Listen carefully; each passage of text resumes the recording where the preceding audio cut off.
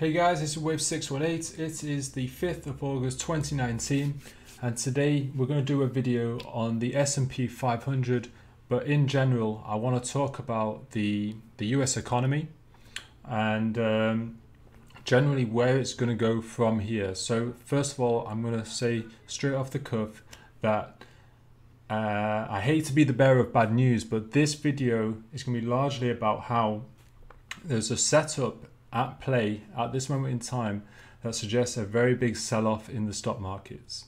So I'm going to show that both from a technical, well mainly from a technical analysis point of view, but we're going to throw in some fundamentals as well. We're going to be looking at the S&P 500 chart. We'll have a quick look at the Dow Jones. We're going to have a look at the history of stock prices and we're also going to have a look at the bonds and yield markets also which are actually going to give us a very good sign of what's about to happen. A lot of people are waiting for a yield curve inv inversion. Of course, we've been seeing it inverting, but it's not yet. We've not yet seen that inversion between the two-year yields and the 10-year yields for the treasuries. So I'm going to explain. I'm going to show you a chart, in fact, that I'm pretty sure you've never seen before. Pretty sure of it. And it's actually, it's really going to open your eyes. It's probably the highlight of this video. I'm going to leave it to the end, but it's really going to emphasize the main point in this video, which is the fact that we could be seeing an absolutely huge sell-off in the stock markets. Now, I want you to take into consideration that this is not financial advice. Okay, this is my objective opinion. I'm, I'm a chartist. I go off patterns on the charts. Obviously, I, I do have an understanding of yeah, a very very basic understanding of economics. You know, I have read up a, a lot about it, but I'll be the first to admit that it's a, generally a basic understanding. So this is not financial advice. This is my objective opinion on what I'm seeing at play in the markets right now. I'll explain how that potential move could break down. I'll explain the point of invalidation. But um, yeah, there's plenty of interesting things to discuss in this video. So if you're interested, then stay tuned.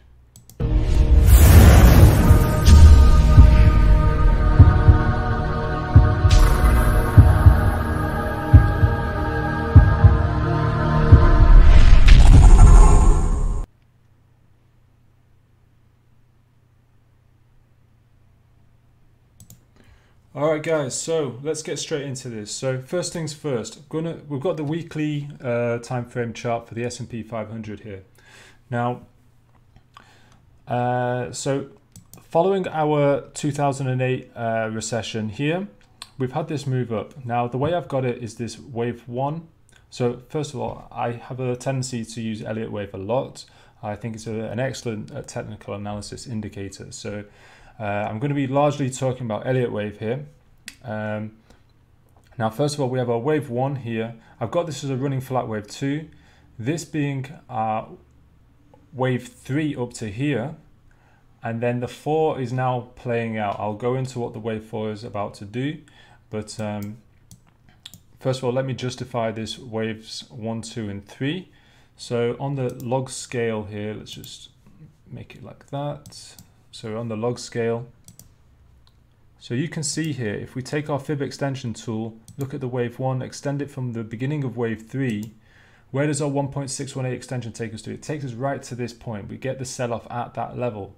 So for me, that sell-off at the 1.618 shows that this is being validated as a as an extension, suggesting that this is our wave three. Now, a lot of people were thinking that this was some kind of a expanded flat wave 4 finishing here. However, I'm going to show you the, the playout that I'm looking at happening here, which is rather than an expanded flat finishing here, we're going to see an expanded triangle. And you can see the labeling that I've got for this already. You can see it's an A, B, C, D, and E. Now this has happened before. It happened in the 1960s. I'm going to show you the demonstration of that in a moment. But the problem with this, calling this the end of the wave four, is largely the fact that it was too shallow a retracement. If we start our wave three from here, which where we've got it, so we've got it here. Okay, it's come down to the 0.236, but classically you'll test the 0.382. And one of the important things about Elliott wave is typically the wave four will eat into or at least test the wave 4 of a lesser degree. So here, this is the wave 4 of this wave 3 here. So I've got this as a wave 1, 2, 3, 4, 5. That's the subwave count for the wave 3. Okay, so typically you'll get your wave 4 eat into this wave. So either we're going to test it at around 2100 or we're going to come and test the 0.5 fib retracement uh, at around uh, at around 2000 yeah so those are the two fib levels that it could easily test so as you can see that is a huge sell-off so if we just have a look if we just look at what the percentage sell-off is for that so the 382 retracement would be a 26% sell-off the 0.5 retracement, that's a 34% sell-off, okay? So very big retracement there. Now take into account these this fib retracement tool, this is using the, so actually it wasn't even on the log based scale, it should be on the log based scale. So actually the 0.382 brings us to around the 2000 mark, okay? And you can see, now you can see we haven't even reached the 0.236. So this is the way it should be used. We should be using the, the fib scale uh, the fibs on the log scale. That's generally what we use for these longer uh, term price moves. And so yeah, we, we haven't even tested the 0.236. So this is why I feel that this wave 4 is incomplete and it needs to come down further. Now, as I say, let me show you how we had a, a very similar play out here in the 1960s. So this was our stagflationary period during our Vietnam War during this time period also. We had our A, B, C, D, and E. Okay.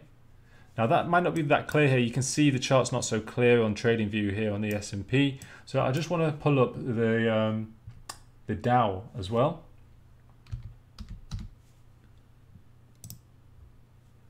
So if we just have a look at the Dow, I've got a few more markings on this chart. So we'll pull up the monthly. So this was the equivalent on the Dow. So we've got A, B, C, D, and E. And you can see this was a it was a wave four. So this is our Great Depression here, 1929, big sell-off.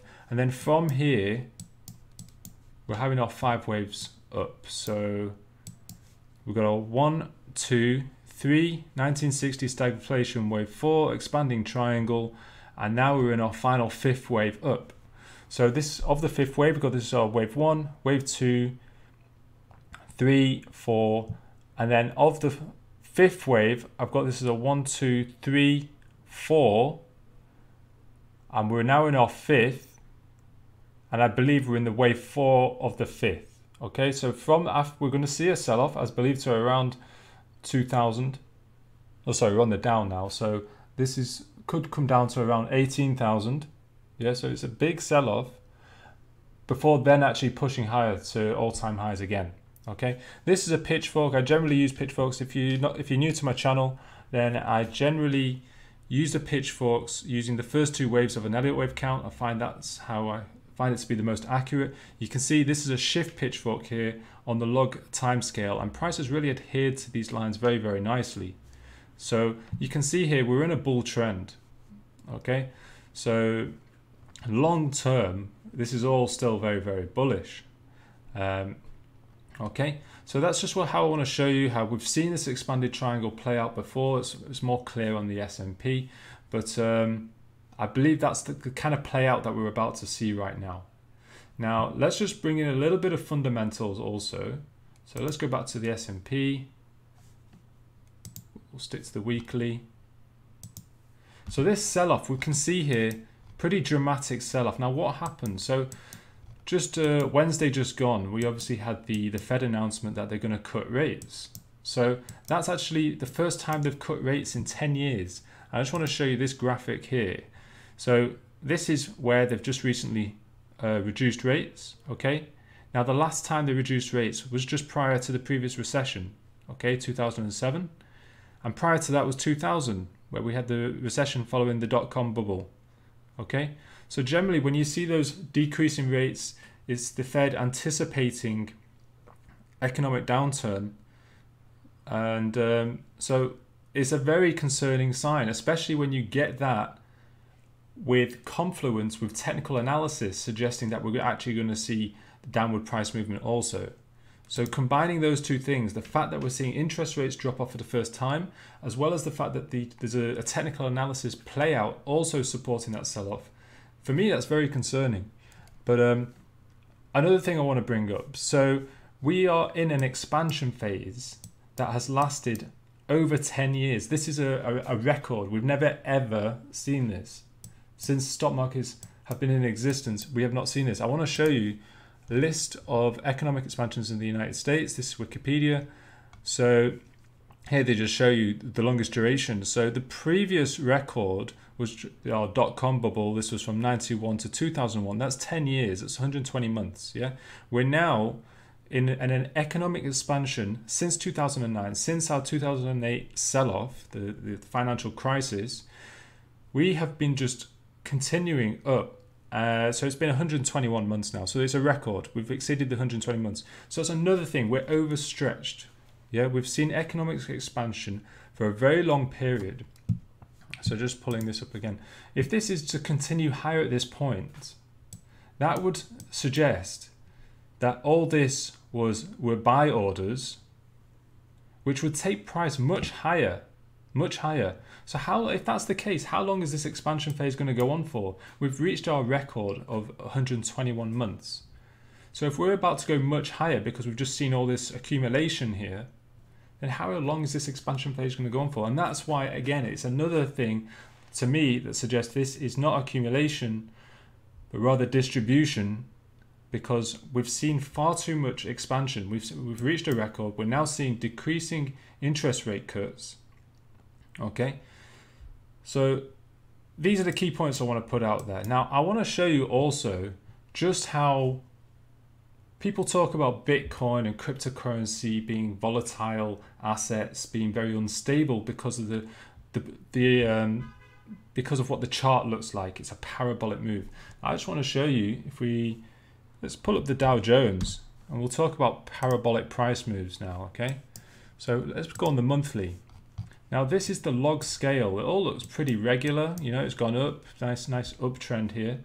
Let's go off the log scale now. Let's look at the linear scale. Okay, this is the linear scale here. Okay, does it bring? It looks like a bubble chart, doesn't it? So quite uh, similar to the Bitcoin chart, really. So people talk about Bitcoin being volatile and making these unhealthy price movements, going vertical this whole stock market is doing exactly the same thing. So the higher it goes, there's no, I'm not saying that this is all going to collapse at this moment in time. That's not what I'm saying. I'm saying we're going to see a retracement. But as we get higher, it's going to get more volatile. The sell offs are going to be more dramatic. Uh, we're going to see a lot more volatility. So yeah, I just want to illustrate that point because I think a lot of people overlook that. They get kind of, uh, because this uptrend has gone on so long, people are forgetting the fact that you know this has gone on a long time. I mean, we're only dating back to 1915 here. Yeah, stock markets go back a lot further than that, and I'll show you another graphic in a moment to to show you the history of uh, stock prices. But um, yeah, we're only going back. Well, only I'm saying we're going back to 1915 here, and you can see well, this is our Great Depression. This is 1929. This is our Great Depression here. You can barely see it on the chart. Look at this. Look how much the price swings. This is in our uh, financial crisis here. Yeah. So now, when we see a financial downturn, it is going to be a lot more exaggerated. That's just the nature of the beast now. That's what we're dealing with. The whole thing has been built on borrowed money.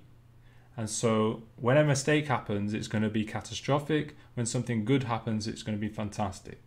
Uh, but so yeah, that's what we're dealing with. And as I say, I wanted to show you this other chart. So this is stock prices. This is uh, US stock prices. This is going back to 1789 when it all began. Okay. So as I showed you the Dow Jones, this is our post depression here. This is our Great Depression. And I said we're making five waves up. So this would be our wave one, two, three, coming up to here, this is our stagflationary 1960s sideways movement, the expanding triangle, um, to make our wave four. And then we're going into our wave five. And as I say, this was our wave four or five, and now we're making another five waves up, of which we're in the fourth wave, and we're going to go higher. Um, but you can see back here, the way I, have got this is probably this is our first wave up, second wave here. It's probably our third wave, fourth wave. Fourth wave does not overlap wave one. You can see fourth wave comes down to 41.2 whilst wave one comes up to 36.6. So they're not overlapping, so it's a valid count. So we've got a one, two, three, four, and then five. So this is our grand super cycle phase right here. Yeah. So I'm not I'm not going to come up with suggestions what happens when we finally reach five or five or five or five, but um, just want to show you the grand scheme of things. Where we're we're very we're seeing very exaggerated price moves here, and every time we see a sell off, it's going to be a big sell off. So um, yeah, just wanted to put that one out there as well. So just pulling up. So back on S&P now. So yeah, I'm looking at this expanding triangle. I've explained that I'm, looking at as likely to test this previous consolidation here. Now, I want to move on to a little bit about yields, yield curves uh, and uh, bonds, okay? Because this, I explained, I'm going to show you a chart soon that you've probably not seen before. Now, first of all, okay, so this is a perf chart looking at the yields. So for the two year yields, 10 year yields, 30 year yields, and the five year yields as well. Okay. Now the black line is our 30 yield, red is our 10 yield, blue 5 yield, and green is 2. And you can see generally what happens. So in 2000, around here, yeah, we had our recession. So what happens in a recession? The yields go down. So yields follow interest rates. So when you get your interest rates coming down, the yields come down.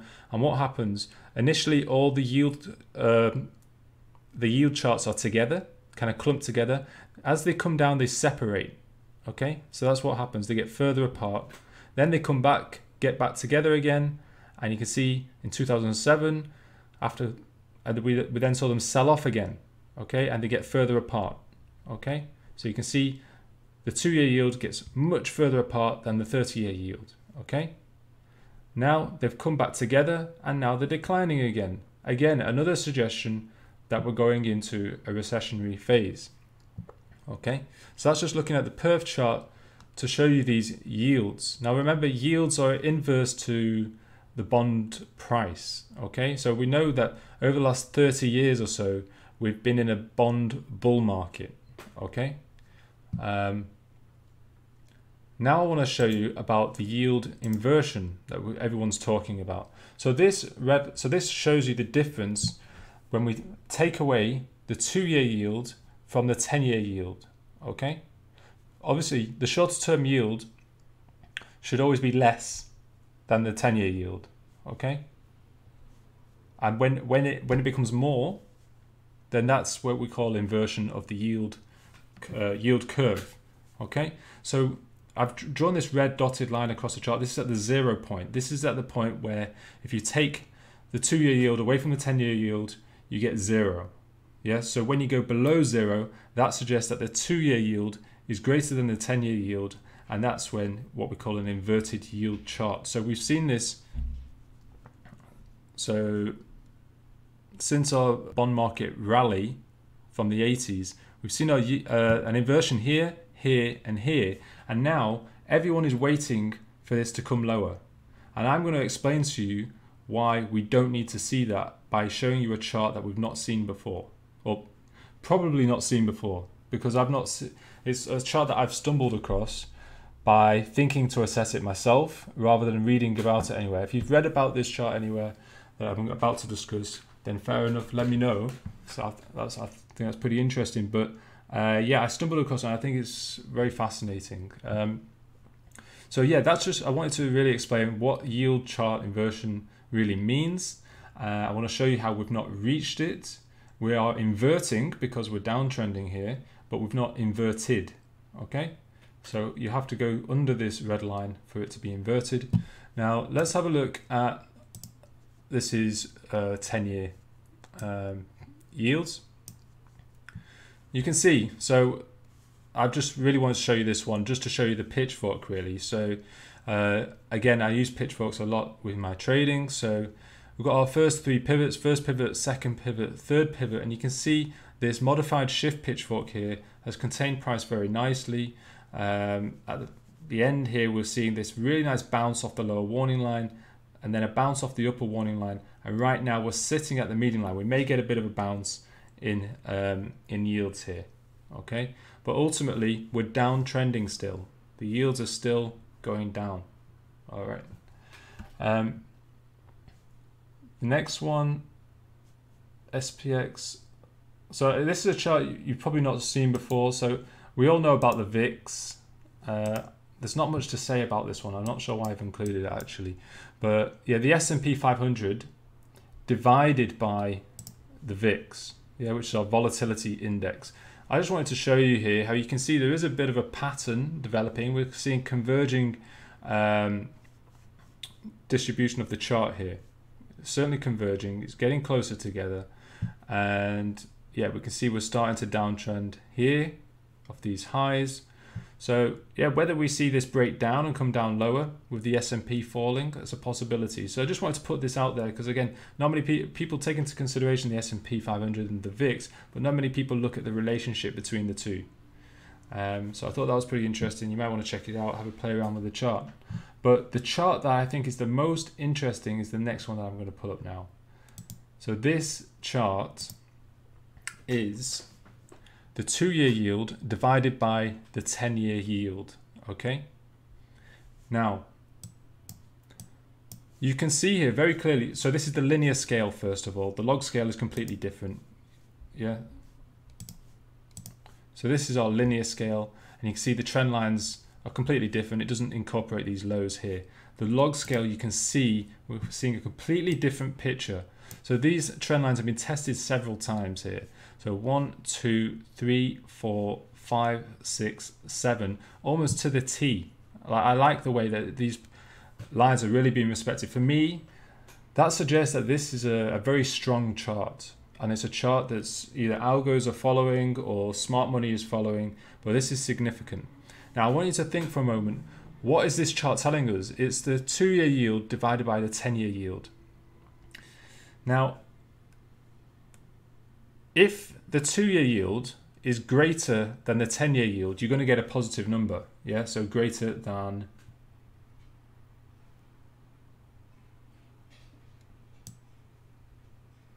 So, uh, well, essentially greater than, uh, well, sorry, you're going to get greater than 1.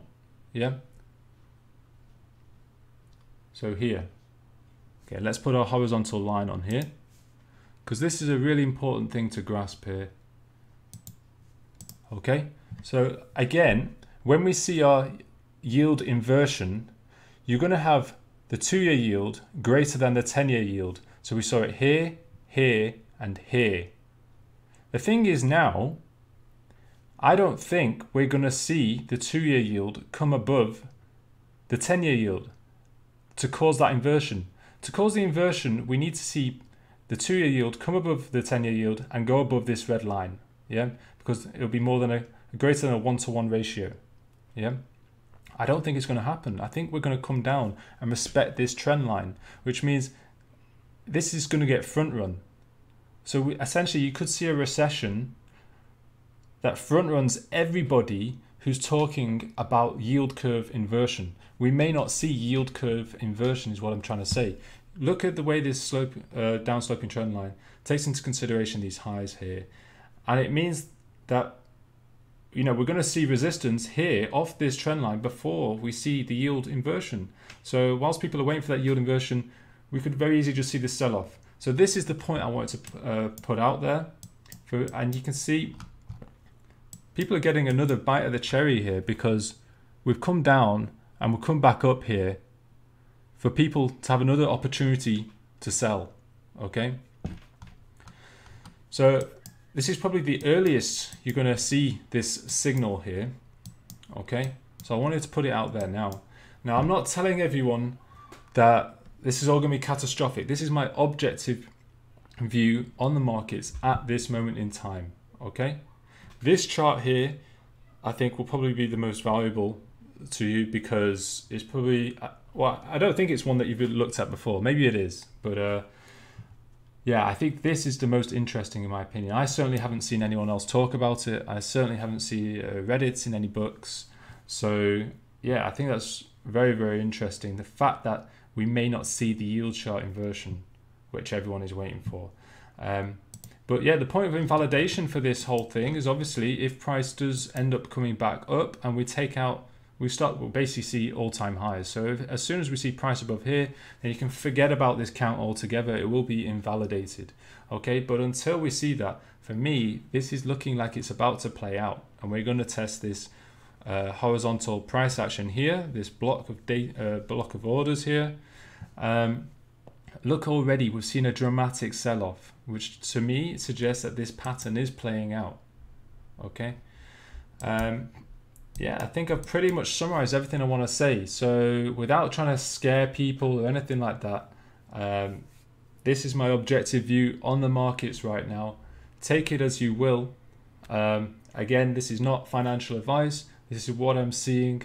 Uh, do your own research.